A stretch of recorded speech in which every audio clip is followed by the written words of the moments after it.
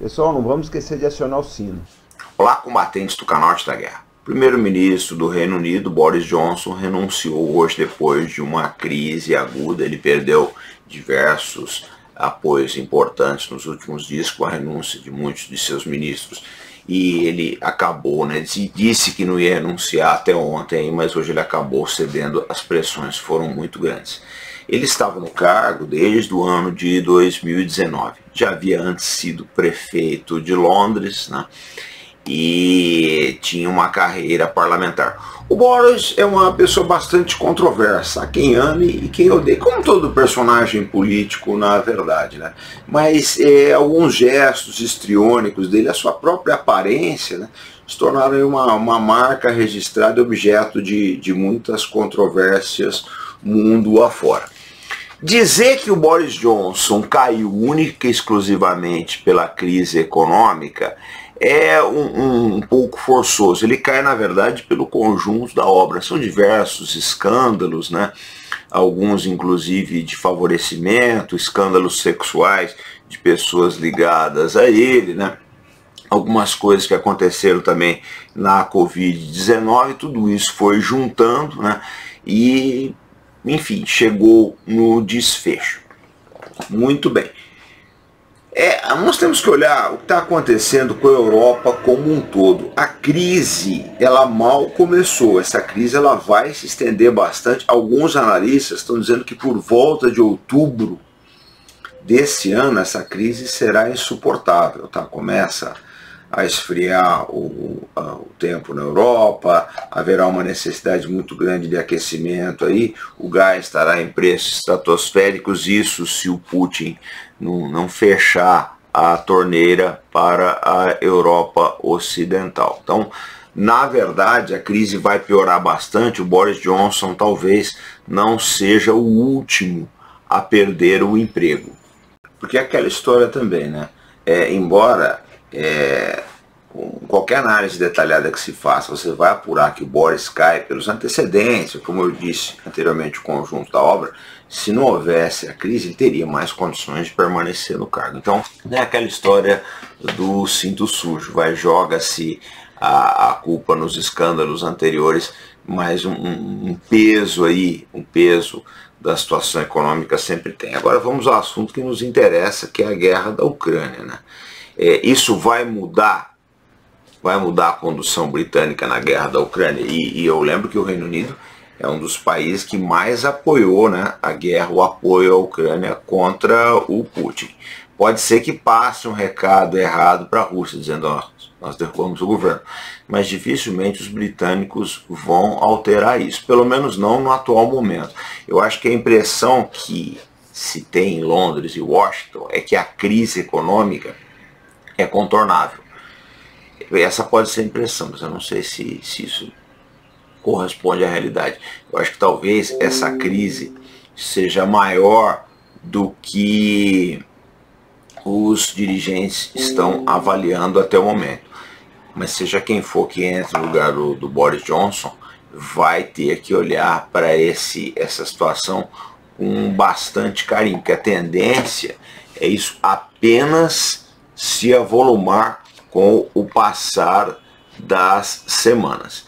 E o, sucessor do Johnson também, que nós não sabemos quem é, tem gente que fala que vai ser o, o ministro da Defesa que vai entrar no lugar dele, né, o que sinalizaria aí uma continuação da política é, do Johnson com relação à Ucrânia, mas é, seja quem for, pega um momento meio complicado, porque os russos acabaram de tomar aí o Oblast Lugansk, né, estão indo para o Donetsk, embora a Ucrânia esteja fazendo uma reserva de, de tropas aí, não se sabe como isso tudo vai sair agora no verão. Dizem que os ucranianos planejam uma ofensiva para o verão, mas o, o, o, estado geral do exército ucraniano não indica que essa ofensiva possa ter sucesso. Vamos aguardar. Né?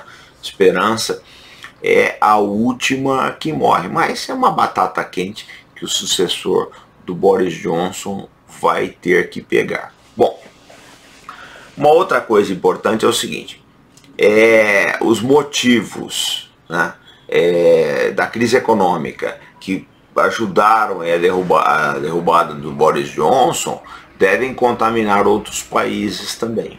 O fato é que ele, há uma possibilidade do Johnson não ser o último mandatário europeu a cair em 2022. Essa crise está batendo pesado em vários países, aí Portugal, Alemanha, Itália, e vai ser bastante difícil, principalmente em regimes parlamentares, né, o, o mandatário da vez se segurar na cela. Né. O Boris Johnson tentou de tudo, mas a situação dele se tornou insuportável. Perdeu mais de, de 50 50 apoiadores aí, chegando ponto ninguém se sustenta depois de uma debacle dessas daí.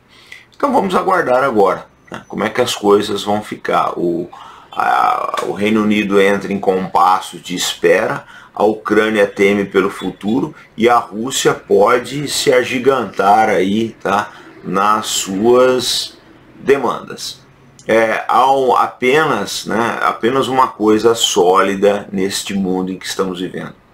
É incerteza.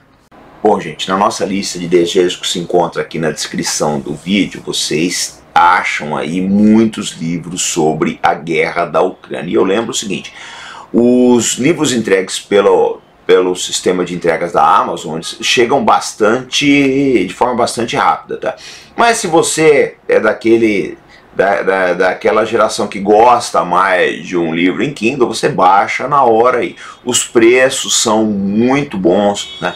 os temas bastante atualizados e vão dar um quadro muito claro para vocês do que acontece na guerra da Ucrânia. E eu lembro que todas as vezes que vocês compram livros e outros itens na Amazon, vocês estão ajudando o canal Arte da Guerra.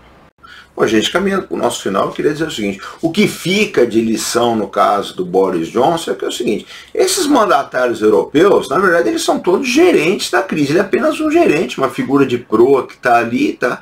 para fazer cumprir determinadas regras, mas eles não têm condição de alterar nada o jogo. Qualquer pessoa com uma visão melhor do mundo não mergulharia o Reino Unido num, num, buraco desse que é a guerra da Ucrânia, que se está à beira de uma terceira guerra mundial. Mas é duvidoso, é duvidoso, é questionável, né? É, se o Boris Johnson tinha alguma ingerência sobre isso a impressão que a gente tem é que ele já cumpriu o papel dele, né? E agora como ficou muito impopular, o sistema ó, tira o cara, vamos colocar outro que dê continuidade a isso.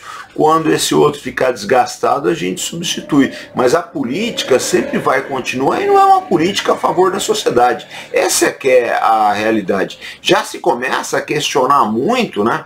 Se essa democracia liberal que existe na Europa é realmente uma democracia, será que os anseios da sociedade estão sendo atendidos? Será que os britânicos gostariam de ver né, bilhões de libras aí jogados num, num país distante como a, Libra, é, como a Ucrânia? Isso é bastante questionável. E o papel de pessoas como o Johnson é simplesmente fazer isso, direcionar esse dinheiro, esses recursos militares para uma guerra que tem pouco a ver com os interesses da sociedade britânica. Verdade é o seguinte, o Boris Johnson, ele fez o que mandaram ele fazer, fez quem apoiou a sua ascensão ao poder, né? É, decidiu que ele deveria fazer, ele atendeu a essas, essas determinações aí e se desgastou muito e agora está saindo. Né? Se alegam outros motivos, aí lógico, ele, ele cai pelo conjunto da obra, mas é bastante discutível se não houvesse essa crise econômica que ele é um dos responsáveis, né? se ele não, não teria mais condições de permanecer no cargo. É uma coisa que nós nunca vamos saber. Boa sorte para o seu sucessor e principalmente muito boa sorte para o povo britânico. Até mais, pessoal.